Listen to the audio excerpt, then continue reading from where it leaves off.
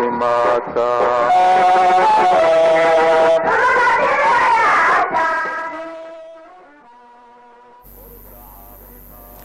kulanti wacan wanaagsan daawadayaal meel walba aad joogtaan iyo si walba muuqaalkan idiin soo gaarayo. Habeen wanaagsan ku soo dhawaada barnaamijka la hadal dhakhtarka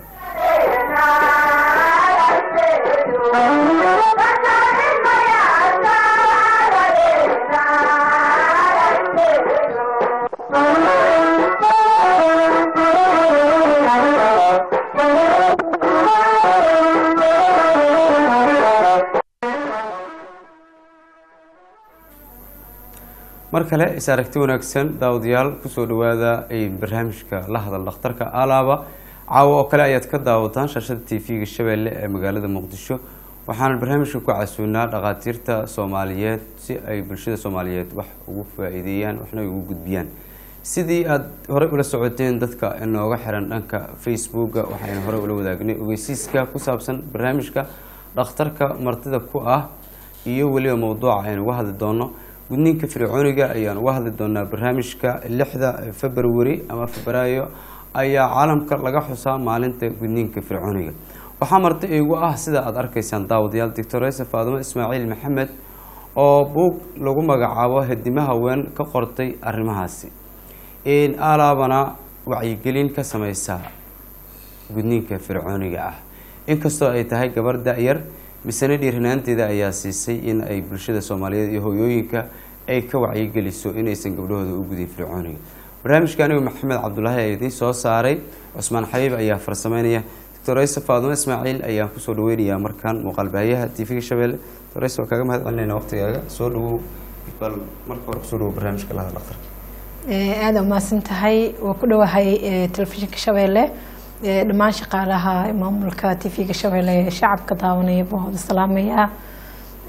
Second waan kaaga mahad celinayaa qaabka wanaagsan ee hadda iyo jeer aada bulshada naftirkaaga u soo xasuusid u dareensiiso ee aada barnaamijka u daadeynayso waa kaaga mahad celinaya mar kale wuu ku dhowahay barnaamijka wuu ku faraxsannahay inaan ku casuunaado telefishinka shabeelle waa mahadsantaa doctoreso bal inta aanan u gudagelin maanta oo keli berri ku beegan taariikhda iyo buugga aada ka qortay inta aan u gudagelin bal bulshadana daawanaysa marka hore waxaan jeclaan lahaa inaad hordhac fiican ka siisid gudniinka noocaan loo yaqaano f j m gudniinka fircooniga waa xanuun ama qaliin lagu sameeyo haweenka hay'ado badan sida hay'adda w h o ah hay'adda caafimaadka adduunka marka magaceeda la soo gaabay loo yaqaano w h o world health organization waxay alaba ku qeexdaa inuu yahay qaliin loo sameeyo gabdhaha.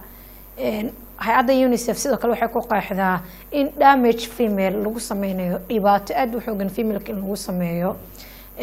Sidoo kale qaybta jaldi productionka ee hay'adaha ee aada ula doodan waxay dhahaan waa abuse children waxaa arkaysaa f g m ka keligiisa in dhowr iyo toban noocood ama dhowr iyo toban qaybood naftirkiisiba loo kala qeyqeyxayo gudniinka fircooniga waa dhibaato aan dhammaad lahayn waa xanuun aana daabo lahayn. Dabcan markii aan sharxayo waxaan dib u xasuustaa ereyadii khiirada badnaa ee aan ku qoray buuggii hadima haweyn oo berito aada sugaysaan bandhigiisa inuu magaalada muqdisho ka furmo. Marka qaliin waayaa tire gudniinka fircooniga halkeebaa la qalayaa? Qof walba isweydiinaya good alxamdulilah alla wuxuu female iyo maileba wuxuu u kala sameeyey xubno u kala gaar ah hadba wixii loogu talagalayna ay qabato. Femaleka markii la sameynayo gudniinka waxaa laga sameeyaa halka fajen halka loo yaqaano. Ama soomaaliga markaa dhahno xubinta taranka ee dumarka. dabcan qaliinka marka la sameynayo dad baa u qaatay in qofka sida o in la saaro kale operation theatrka oo kale qofka in markaasi la suuxiyo kale local anesthesia or general anesthesia in loo sameeyo ee isleeyihin dhakhaatiirta waxay u diyaar garoobeen qaliin in loo sameeyo. Laakiin magaca qaabkiis markay fiiriyeen ayaa lahay waa qaliin loo sameeyo dumarka sidaas ay tahayna iyadoo gabadha general anesthesia loo sameynin keliya local anesthesia loo sameeyo xubinta vaginalka ayaa dan lagu sameeyaa qani qalinyo kala duwan oo waa la jarjaraa waa la damage gareeyaa waa la dhibaateeyaa. Dhibaatooyinka marka qalliinkaas ama gudniinkaas soomaalidu kulley qalliin uma taqaan intooda badan. Inta caafimaadka unbaa u aragta inay tahay qalliin lagu sameeyey gabadha.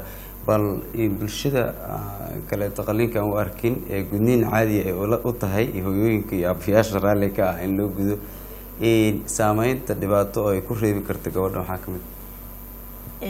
Xaqiiq saameyn aada u wanaagsan ay ku reebi kartaa oo markaa fiiriso aada iyo aada u xunna. Sax.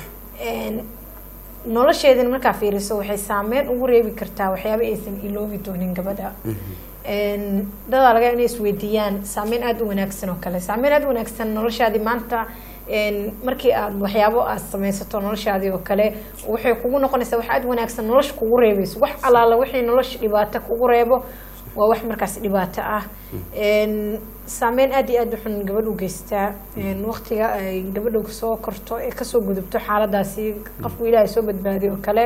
Ee, qaar waxaa jira oo xataa ku dhinta sida kiisas aan hayo oo ka dhacay kaamida ku yaalla magaalada muqdisho buuggeygana ku qoran yahay. In subaxii la soo guday duurkii camal xaafadda loo soo celiyey afterdaadna inay sameysay bleeding up dhiigbax Een, dhiigbaxeedana wuxuu noqday labada nooc bay bleedingka aan u naqaano. External bleeding and internal bleedingka Een, waxay sameysay gabadh yariista internal bleedingka wa- way u dhiig baxday as external bleeding way u dhiig baxday oo dibadda u soo dhiig baxday gudahana u dhiig baxday mar walba waxaa daran dhiigga gudaha. Dhiigga banaanka outside-ka it's normal dhiigga gudaha wuxuu markaasi aad ugu buuxsamay dhanka een, galeenka zaa-id gabadha ku damage gareeyey iyadoo xanuunkaas ku jirta ayay nafta ka baxday. Waa kiis aan xaadir ahaa ee aan joogay ee ka dhacay mid ka mid a kaamikal magaalada muqdisho. Kana mid ahaa lixdan iyo saddex kaamood ee aan research ka sameynayay intii aan buugka waday. Een, dhibaatooyin aada iyo xun. buugga researchka iyo arrimaha ka qortay dhibaatooyin aada u xun gabadha een shakhsiyan selfi ahaan u geysataa waqtigaasay soo gudubtay oo way ka soo gudubtay xaaladaasi way fiicnaatay waxaa imaatay gabadha inay xiriiro sameyso ee, midkay calmato is leedahay alale wuu geyn karaa inay guursato. Ee, afterdaad markay guursato guriga tagto waxay aada u dhibsanaysaa een, isu taga la sameynayo. Mhm, wax loo guursadana waa isu taga in wad la helo noloshu la dareemo. Een, taasi aada u dhibsanaysaa gabadha. Afterdaadna markay ka soo gudubto xaaladaasi waxay kaloo imaan doontaa xaaladda een, la yiraahdo kaa dhexgale doctor Rayso intii gabadha aysan guur gaarin ka hor waxaa jirta ministralkiya jirta oo caqabado ay kala kulmi kartaa soo maaha Gabadha exactly FGM -ka. minister waa cycle-ka meeshuu ka soo bixi lahaa dhan way ka xiran tahay Gartay, bal hore Een, soo. iyadoo noloshaas ku jirto dadka markay la wadaagto gabdho badan waxaa arkaysaa gabdho gabarka la wadaagayso ku dhahayso wuu dhibaa dhiigga caadada marinka hala furo waxaa la leeyahay guurso ma aha wax marinka ku xiran haddii la furo xitaa ahaanayo waqtigiisii taagnaanaya xanuunka Ee, sidaas awgeeda waqtigaasi way dareemeysaa xanuun aada u badan Ee, waqtiga galmada oo kale way dareemi kartaa waqtiga foosha ama deliveryga ee ku jirtana way dareemi kartaa sometime wuxuu sababaa in hooyada c section lagu sameeyo oo syrian sectionka lagu sameeyo oo hooyada ay u sababi kartaa waqtiga guurka markaa u soo laaban waxay u sababi kartaa inay kala tagaan maadaama nolosha la isku nacay waxaa imaanaya furiin isku nacaas nolosha imaanaya haddii si kale aan u sheegno gabadha ayaa xanuun dareemeysa saasa kala jeeda soo maa yee xanuunyada ay dareemeyso Mm. Xilliga marka lagu jiro caadada gabadha ay ku jirto xanuunadaas maadaama dhiigga xinjiro uu leeyahay dadkuna uusan isku mid ahayn qof walbana uu dhiiggiisa uu siiya.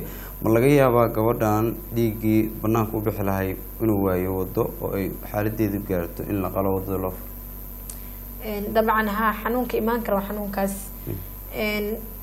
inuu dhiiggii banaanka ku soo bixi lahaa waa wax wasaq ah oo loogu talagalay banaanka loo soo saaro Een, dhiiggaasna ma ahan dhiig markaasi een, wax normali ah. Waa asigoo sidaas hadduu waayo qiimihii uu mudnaa inuu si nadiif ah uu outside uu soo baxo banaanka gudaha ku jiro xanuuna u geysan kartaa een, uteruska inuu barare u geysan kartaa inkastoo dumarka ay dhahaan xudurtaan xanuuneyso. Ee, xudurta dhowr marna waa ka wacyigeliyaa Een, dadka dhahayo maanta xudurtaa laga hayaa waan kula dooda waxaan dhahaa minister waa cycleka halkuu ka yimaadaa caafimaad markaa baratay. Intestinaalka ay ka hadlayaan large intestinal Mindhicirada. intestinal dadka yes manicirada manicirad markaa fiirisid? Waa wax shaqooyin gooniha loogu talagalo jirka ka hayo. Dhiigga caadada mancirada shaqo kuma laha. Garta. dhiigga caadada waxaa lagu soo sameeyaa utraska halkii la rabo inay ilmaha ku bacrimaan oo isbeermaha aabaha iyo ofamka hooyada inay la rabo falgal ay sameeyaan oo ka abuurmaan ofamka waxay weyn doontaa isbeermihii oo bacrimin lahaa. Raggay weyn doontaa. Markay weysana ukunta way dilaacaysaa oo sidaas banaan ku soo bixaysaa bil walba gabadha waxay khasaarisaa hal xabo ukun ah. Waxaa jirto disorder of iyo waxyaabo la mid ah jirto xanuunana way keeni karaan dabcan. Een, sida caadiga ah caafimaad ahaan normalka ah gabadha bishii ilaa iyo intee cyclekaas uu ku imaan karaa cycleka waxaa loogu talagalay bishii hal mar. Een, ama kowda bisha ha kugu dhaco ama labaatan iyo sideedda bisha ha kugu dhacdo. Sax tusaale oo kale tusaale iskaga soo qaadanaa ee caafimaadka wax laga faano ma galo. Faatima ahaan hadduu igu dhaco sideed iyo labaatanka bisha waa inuu igu dhacaa mar kale sideed iyo labaatanka bisha soo socoto. January sideed iyo labaatankeeda igu dhacay waa inaa sugaa february labaatan sideedeeda waa inaa sugaa mars labaatan sideedeeda mar walba tees inaa xisaabsadaa waa la saxaa dhakhaatiir aad wanaagsan aa saxdo oo istaalada ku saxdo waa la saxaa. Dad waxaa arkaysaa kooda bisha uu ka jabo. Koodii labadii saddexdii afarta inkastoo dumarka ay kala different ay kala yihiin oo dadna afar maalin hayo dadna saddex maalin hayo dadna hayo toddoba maalin markay afar maalin ka dhammaysato oo normalka ugu soo qaadanaynaa kooda bisha labada bisha saddex bisha afarta bisha ay dhammaysay haddana wuxuu ka jabaa labaatan iyo sideedda bisha ama labaatan iyo sagaalka bisha ama soddonka bisha. Bishii laba mar mid ku soo dhacayo dadka waxay dhahaan waa caafimaad caafimaad ma aha. Research ku sameeya baara gabadha bishii laba mar caadoota caafimaad ma ahan waa cudur waa xanuun waa la iska daabeeyaa waa la saxaa dhiigga caadada. Ama kowda bishaa lagu aadiyaa labaatan iyo sideedda bishaa lagu aadsadaa mar alla markaas saxdo hadday stress iyo waxa isku furfurin gabadhu oo normal iska tahay caadi ay u noqonaysa laakiin hadday stress iyo wax isku furto wuu qaldamaa waxaa dhahday haddii uu bishii hal mar ka badan kugu dhaco waa cudur. Sax. Maxaa maxaa sababa laakiin inuu hal bil oo waxaa sababo een, aad markaa u sii aqrinaa arki karto infectionka ku dhaca haweenka oo kale oo aan aad layskaga daaweynin. Een, waxaa sidoo kale sababa alwayska naftirkiisa ay isticmaalayaan dumarka waqtiga menstrual cycle-ka. Ee, waxaa sidoo kale sababa leeyahay f g m ka naftirkiisa gudniinka fircooniga. Waayo dhiiggii loogu talagal inuu hal mar banaanka u soo baxo wuu keedsamaa. Adar waqtigiis kale intaa la gaarin haddana soo baxa dadka badanaa ka cawada bishii laba mar inuu ku dhaco waa dadka f g m ka ama gudniinka fircooniga lagu sameeyey. Waxaa qofkii sidoo kale oo sababa qofkii oo hal mar ka badan ku dhaco bishii waa inuu la xiriiro dhakhaatiirta inuu la xiriiraha waa la saxaa istaalada lagu saxaa in dhakhaatiirta la xiriiraan. Gabadhii oo stress iyo murug murug iyo waxyaabahaas oo isku furto hurdo la'aan ay dareento waxyaabahaasi oo dhan way u keeni kartaa. Waaya waa mahadsantaa doctor rayso gabadhii gabarnimadeedii loo guday f g m kadibna guursatay waxay rabtaa kala kulanto. Hooyo noqotay iyo gabadhii aan weli guursan ee gabarnimadeeda ku joogto ee gudniinkeedu inuu noocaas ahaa.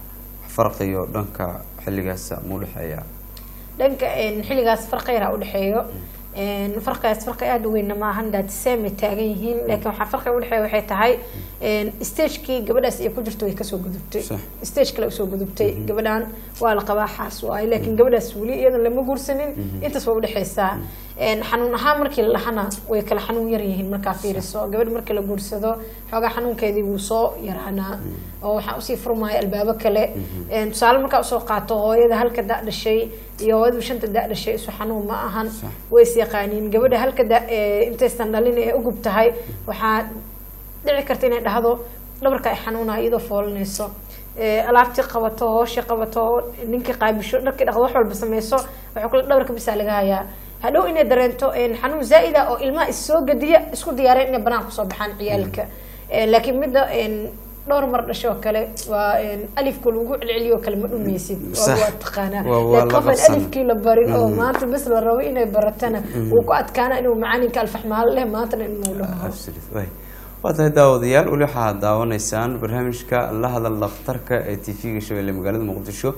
Barnaamijka waxaa marti ogaa doctor ayse faadimo ismaaciil maxamed waxa ay wax ka qortay buug lagu magacaabo. Waxay qortay cafwan buug lagu magacaabo. Hadima haween oo ay ka qortay gudniinka fircooniga.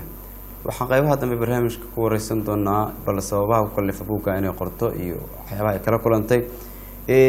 Iyadoona maalinta berri ku beegan tahay ama caawa lix saac waxay ka dambeeya ku beegan tahay marka adduunka laga xuso xanuunkan ama noocan gudniin ee fircooniga loo yaqaano lixda februaayo sanad walba. Barnaamijka daawadayaasha qofkii su'aal qaba waxau nagu soo weydiin karaa qeybta liveka. Sidoo kale waxay nagu soo wici karaan telefon numberka furaha waa toddoba lixdan iyo afar siddeetan iyo afar afartan iyo afar. Nambarkaas ayaad naga soo wici kartaan.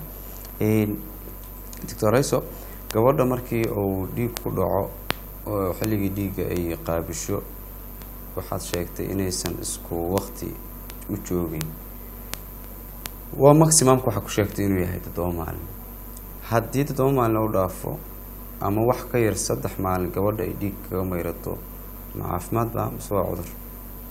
Saddex maalin hadduu waqtigii gabadha umaan jiray uu ka soo hormaro ama uu ka soo dibdhaco daas caadi normally waaye wax normally taagan waaye. Laakiin dumar waa dareemi kartaa ma ka dhamaado maanta dhan walwalka stresska ma ka dhamaado waxaa ugu yar shukaansiga xabadkee laba isbuuc isla socdeen hadday kala tagaan ciyo stressa gashay. Hal isbuuc midkay wada socdeen hadday isdaayaan stressa ku jirtaa waa waxaa laga inuu soo degdego waqtigu imaan jira uu ka soo hormaro. No matter. Laakiin waa la tiriyaa. Waxaa loo qabtaa saddex bilood saari sarjiga ku sameeyey ku arkay minister wilka saddex biloodoo isku xigta hadduu kaa qaldamo oo weliba sharwado daba socdo ah haddaysan stress qabin oo welwel aysan habi iska tahay hadday markaasi signant ahayn aysan jirnayn oo gabadha jismiyana caadi iskaga wanaagsan tahay intaba marka waxay noqon kartaa in si caadi ah ay u tahay. Laakiin hadday intaasi qabto oo stress ay qabto welwel ay qabto wax walba ay qabto wuu qaldami karaa. In markaas la xiriirtaa dhakhaatiirta caafimaadka si markaasi u xaliyaan kana hortagaan in markaasi dhibaato kaga sii gaarsiiso. Waa tahay. Bal lixdan februaayo sababta loo xuso maxay tahay? Waaw aniga lixda february aaday igu weyn tahay. Waa maalinta gudniinka fircooniga u asteeyeen caalamka dhan laga xuso lixda february waa maalin agteeda qiimo ku leh. Tomorrow waa maalin markaasi aada aan u soo koobi karin. Inkastoo igu jirto xoogaa gudniinka fircooniga oo dhibaatadiisi aada u badanto oo kale damageka loo geeyo kale aada u soo xasuusto. Lixda february waa maalintii loo asteeyey gudniinka fircooniga. Ilaa iyo hadda wuu ka nasiib badan yahay. Ma jiro maalin loo asteeyey gudniinka sunnaha waayo dhibaato laguma haayaa la leeyahay laakiin wixii dhibaato ah soomaalida waa xustaa caalamka oo dhan baa xusa exactly. Caalamka dhan aa xuso. Dalkeena soomaaliya dalkeena hooyo aan ku nool nahayna alaaba lama xuso gudniinka fircooniga.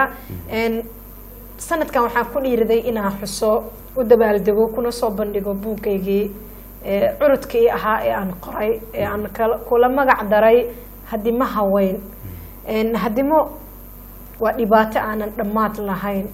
Hadimo magacaasi waa dhibaatooyinka aan dhammaadka lahayn buugga waa u imaaneynaa doctorayso horta sideeda markii wax la xusayo oo la yidhaahdo maalin heblaayo waxaa la xusayaa xanuunkaas waxay ka micno tahay adduunka inuusan weli ka dabargoyn oo weli la xusayo sida hadda h i v oo kaleeto iyo cudurrada lamidkaa sida cudurrada wadnahoo kale iyo iyo waxay leeyihiin maalmo la xuso oo aan weli la joojin sababta loo xusaana waxay tahay weli inuu xanuunkii adduunyada uu ka jiro. Bal heerka marka caalam iyo soomaali haddii aada fiirinaysaa tikis ahaan gudniinka fircooniga oo marayo bal wax wara naga sii. Heerka hadda sanadka labada kun labaatanka ee aan ka diyaariyey bisha february hadda bilowgeedii ilaa iyo shanta february keliya aan diyaariyey. Dhowr twitter dhowr bejaj markaa booqday waxaa soo baxday heerkiisa inuu marayo eighty percentage tobanty bis aan dhiman. Tobanty percentage haddaa ka baxno waa guuleysanayna exactly twenty. bes aan oo dhiman. Eighty percentage wuu maraa. Twenty percentageka ama labaatan boqolkiiba waxaa ku dambeeyaa weli aaday u qeexday hadda w h o. Labaatanka qafe ka dhiman ama labaatan percentage ka dhiman wuxuu ku dambeeyaa dadka jaahilka ah eighty percentage waxaa ka soo baxay dadkii cilmiga bartay wax yaqaanay. Aanan maanta ku kalsoonaanaynin inay gabadhoodii gudniinka fircooniga u sameeyaan. Dadkaasi haddee markaasi hay'adda ay sameyso hadda w h o waxaa laga leeyahay caalamka world health organization la meel walba laga leeyahay. Hay'addaas waxay aada ugu wanaagsan tahay inay mar walibo ay la socotaa xaaladaha uu marayo hadda labada kun iyo labaatanka fifty fifty a ahayd labiiyo toban bilood ee ka soo wareegatay waxaa baxday Soddon percentage Mhm. soddon way gudubtay. Maxaa loo diiday? Siday weli sheegeen ee ku soo qoreen bigjar a arkay aan aada ugu farxay labada kun labaatan iyo kowda zero f g m. Dadkii waxaa ku farxi kara f g m-ka u soo shaqeeyey soo wacyigeliyey dhibaatooyinkiisii soo arkay meel la kulmay un qof u dhibaataysan gudniinka fircooniga aad dareemi kara wuu ku farxi karaa inay w h o maanta dhahdo zero f g m labada kun labaatan iyo kowda waa rajeynaynaa insha allah. Waaya waktiguna sibuu noo yaro kulalayaa hooyooyinka soomaaliyeed ee gabdhaheeda gabdhahooda u gudta f g m-ka adiga iyo dhakhaatiirta kula midka ah ee wacyigelinta ka sameeya noocani gudniinka sideeba idin arkaan? Walaahi anaka markaa u tagno hooyooyinka dhahno een, ha gudina hal siyaaba u arka waxay tahay eh, inay dhahdo een, anigaa la iisoo guday waa idna inaa u gudaa qodob koowaad buu ka qoray. Second waxaa kaloo ka qoray inay dhahdo een, gabadheedu guriga ma iigu sii nagaadayso haddii aan loo gudin noocan. Exactly. Haddii loo gudo gudniinka sunnaha ah markay qaangaartaba nina raaciya ku leedahay? Ma fadhinayso guri ma ii joogayso? Laakiin haddii gudniinkaasi loo gudo Mhm. waxa ee ii fududaanay inay hoosha iisii qabato iisii nagaado midda kale iisoo korto. Way ila joogto. Eh, exactly. U sameeyaan. Markaad xog weydiinaysaan se in kaga jawaab celiyaan qofna waxaa oo aada u dhahaa marka een, dhowrsanaan waaye. Dad qaaraa dhaho markaa fiirin dhowrsanaan ma galo? Qofka shaksiyan allah xifdin kara oo dhowri kara. Absolutely. ayaa u dhowri kara laakiin gudniin fircoon la isku sameeyo dhowrsanaan ma galo. Dadka reer miyigan aada u aaminsan inay markaasi een, dhowrsanaan ay tahay. Bal magaalada muqdisho oo inta badan adigu aada ku samaysay wacyigelinta ma ka dareemaysaa wax isbeddel ah in dadkii ay ka soo waantoobayaan waaw ha alxamdulilah waan ka dareemayaa Een, kaamidaa ka sameeyey marka hore say ahaayeen iyo just sida yihiin markaa fiiriyo toddobiyi tobanka degmo gobolka banaadir degmaan kaam ku olin horta ma jirto. Lixdan iyo saddex kaam ani ahaan shaqsiyan ka sameeyey researchi lixdan iyo saddexdaas kaam aa ka sameeyey waxay ahaayeen xitaa in lagu lagu tartamo maxaa la lahaa magac aad ay u adeegsadaan dadka markaasi ay iscaayayo kale magacay adeegsadaan oo kale waxaasaa tahay camal. Eh, just in kaamadi eh, waa taqaanaa dadka eh, isdhahaan eh, iisoo aa gala karabaxna eh, iisoo feeda camal. Kaamidaa ka bartay sax. Waayaaba kelmadan waxaan ahaa iisoo feeda maxay tahay waxaa la waa lisfiirinaa sax. Waxaa la isku cabirayaa masake ama galey haddii gabadhaasi gasho ma ahan gabar horaa loo soo dhibaateeyey waa la soo kala tuurtay. Laakiin haddaysan galin waa gabaraa lagu leeyahay. Een, hadda markaa wacyigelin sameynay labada kun todoba tobankaa bilaabay inaan ka wacyigeliyo markaa arday ahaa. I'm student so een, labada todoba tobanka sideed tobanka sagaal iyo tobanka labaatan four years aa kaamida ku dhex jiray alxamdulilah labada kun sagaal iyo tobanka labada kun labaatanka u fiicnaa ay soo rownaanayeen oo fifty percentage ha ku diido fifty ha ku yeesho. Waa shalay zero waa ahayd. Zero percentage shalay taagneyd maanta fifty markay ku aqbasho waa inaad dhahda alxamdulilah fiftyga kalena waa rajaynaa inayna aqbasho. Alxamdulilah inta tobantaga dhiman waa rajaynaa inayna aqbalaan. Ee joojiyaan gudniinka. Waay waa rajo fiican. Waa rajeynayna bal markan waxaan dib ugu noqonayaa qaybaha farsamada iyo cusmaan xabiib. Ururka caafimaadka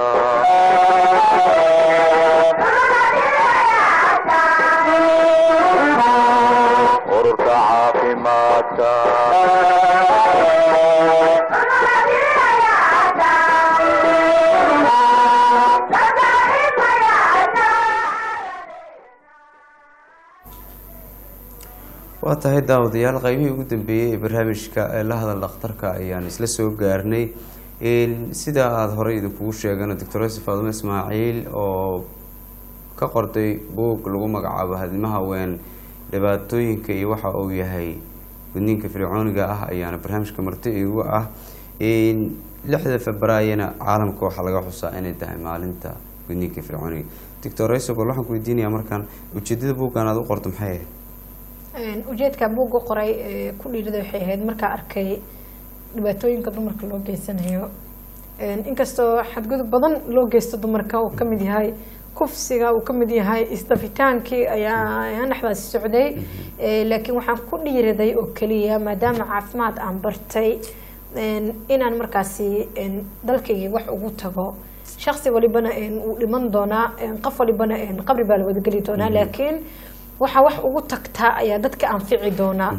Een, buuggaasi waxaan u qoray dhibaatooyin fara badan ee aan dumarka ka arkay iyo dhibaatooyin aan ku dhiiraday inaan qoro buuggaasi ma gudniinka fircooniga oo gaar uga hadlayaa mase si guud uu dhibaatada haweenka loo geysto uga hadlayaa buugga Een, buuggayga si guud ah uma hadlayo oo dhibaatooyinka dumarka loo geysta dhanka ma hadlayo. Si gooni ah wuxuu ka hadlayaa gudniinka fircooniga. Een, waxaa ku jira ilaa iyo labaatan cutub oo ka hadlaya waa maxay gudniinka fircooniga sababaha loo geysto sidee loo gudaa? Waxaa dareemi karaa shaqsigii qaataa waa boqol iyo- abaf bage boqol iyo shan iyo toban bage inuu yahay. Shaqsigii aqriya ee qaata waxaa dareemi karaa inuu noqon doono shaqsi gudniinka fircooniga wax badan ka fahansan ilaa iyo intay kugu qaadato marka inaad qorto buugga xaqiiqa waxay igu qaadatay muddo afar sano ah sidaa sheegay labada kun toddobiyo tobankii aan bilaabay bilaabitaankiisii ku dhiiraday bishii maarso. Markaa arkay kiisas fara badanaa bilaabay inaa buuggani qoro alxamdulilah waa gudagala waa bilaabay anoona haysanin wax garab ah wax caawinaada qafna ka haysanin meelna aanan kala garanaynin. Labada kun toddobiyo tobanka arday yaroo jaamacadda baajka waa diyaarinaya ahaa. Een, toddobiyo toban sideed iyo toban sagaal iyo toban isla researchina waa waday qoritaankina waa waday labada kun labaatanka waxaa helay dad igu caawiya sixitaanka buugga. Shaksiyan waa qoray oo keliya buugga waa dareemi kartaa arday soomaaliya wax ku bartay. Markaan ahay inay aada noogu adag tahay luqadii anaka aan ku dhalano soomaalida naftirkeeda oo aada nala soo baro luqada ingilishka casharada ku wada qaadano. Ee, waqtiga jaamacad imaanana aan luqad soomaali la arkin oo een, jaamacad in english lagu wada qaato.